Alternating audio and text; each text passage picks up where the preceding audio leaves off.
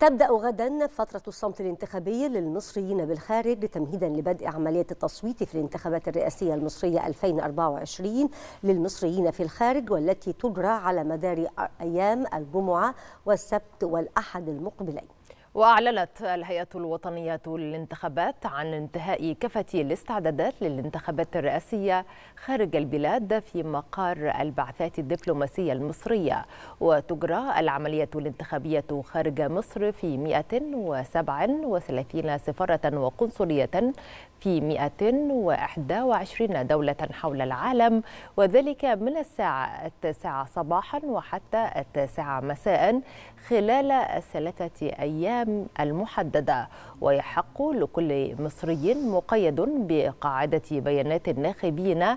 ويكون متواجدا خارج البلاد لاقتراع خلال الأيام الثلاثة سواء كان مقيما أو مسافرا لفترة وجيزة ويدلي المصريون في الخارج